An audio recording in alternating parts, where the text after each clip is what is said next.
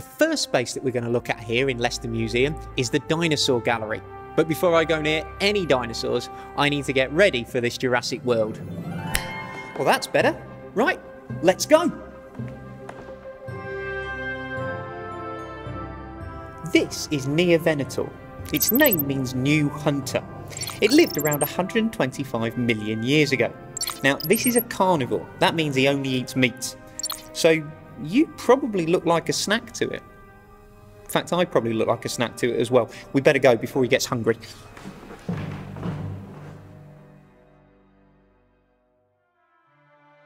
Back in 1851, workmen discovered this dinosaur in Barrow upon Soar in Leicestershire.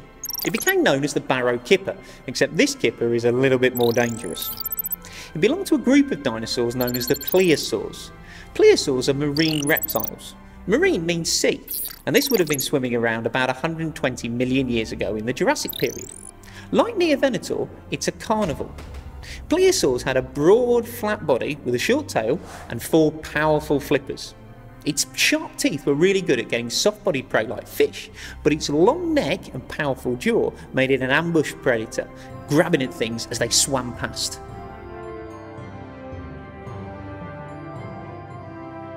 The two dinosaurs that we've seen so far have both been carnivores. So if you were around 700 million years ago, they'd probably try and eat you. But the only dangerous thing about this dinosaur here is if it hit you with its tail, it sat on you or it stood on you.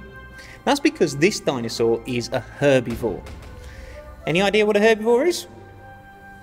Well, it only eats plants. That's right. She's a vegetarian. Look how big and strong you can grow to if you eat your fruit and veg. Now, this dinosaur was found in Rutland back in 1968, and because of that, it's often known as Rutland. Its real name, though, is a Cetiosaurus. Cetiosaurus. Not like the blind dinosaur, do you think he saw us? Yeah? Anyway, because it's Cetiosaurus, I'm going to call her CC. Now, CC belonged to a group of dinosaurs called sauropods. This is the biggest sauropod ever found in Europe, and it's one of the oldest sauropods ever found in the world. Who knows? Perhaps you might become a dinosaur hunter, called a paleontologist, and you might discover a one that's even older. When CC was alive, she would have been about 9 tons. That's a couple of elephants or two double decker buses to you and me. Adult Cetiosaur could live till they were 200 years old, but CC here wasn't fully grown. Now, we said that CC was a herbivore. Well, how do we know that? I'll give you a clue. Take a look at this. This is a fossil. Trust me, if it wasn't, I wouldn't be holding it, because it would be very sticky and very smelly. Have you guessed what it is yet? It's dino poo. This is coprolite. That's the posh name for dino poo. Fossilised dinosaur poo doesn't seem that useful, but scientists can look at this in their laboratory and see seeds and other vegetation, which shows that these dinosaurs only ate that type of food. Clever, isn't it? Even though it's millions of years old, we can still discover things about how the dinosaurs lived. Not all creatures back then were as big as CC. Have a look at the ones in this cabinet here. The ones on the top are ammonites. Ammonites would live in the same type of warm shallow seas as the Barrow Kipper. Ammonites had tentacles that came out of their hard coiled shells, a bit like a squid or an octopus. Ammonite shells are made up of a series of chambers, and when they're in the sea, if they want to go up or down, they fill those chambers with either liquid or gas. So if they want to go up, they fill it with gas, if they want to go down, they fill it with liquid.